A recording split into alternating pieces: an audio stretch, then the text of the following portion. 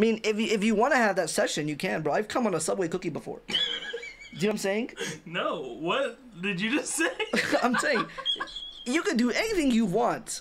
what are you talking about? Just play the TikToks.